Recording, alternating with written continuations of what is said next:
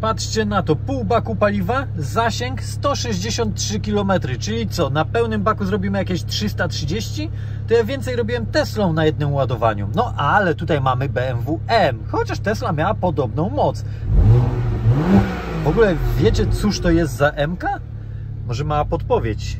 Poznajecie już? Manual 6 biegów dla prawdziwych petrolheadów. Zgadujcie, czy wiecie, co to jest za MK?